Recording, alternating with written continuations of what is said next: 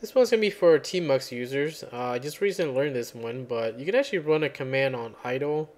So you can run any commands you want, but usually what people run this for is, um, you know, they want a screensaver when they're not doing nothing in their session. And so the popular one that people do is they use CMatrix, and they run that as their, um, you know, idle command. Anyways, open up your Tmux configurations. Right, it should be in your, um, what's that? Your home folder tmux.conf here. Anyways, all you gotta do is um, these two uh, commands here.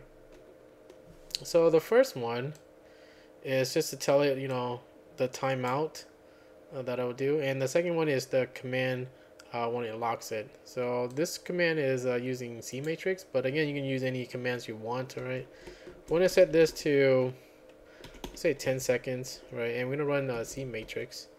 Okay, so we'll save this here and let me reload my configurations here.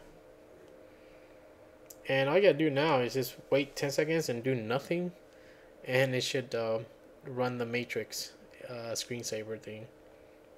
So there you go, right? So that's all it really does. And when you want to quit out of that, just hit Q. And if you ever want to change it, if you have like um, uh, you know, like extra flags, you want to put it in quotes. So let's say uh, I use C matrix here.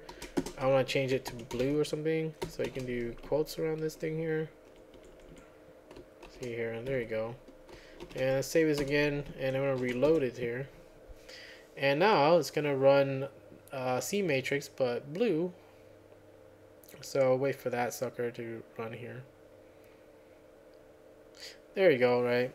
Um, if you never used C matrix before, that's all it does. You know, you can actually push numbers to make it go faster, like one, two, three, and all that.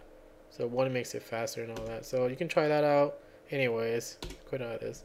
Anyways, I'll post the, you know, the information in the description. But that'll be it for this one.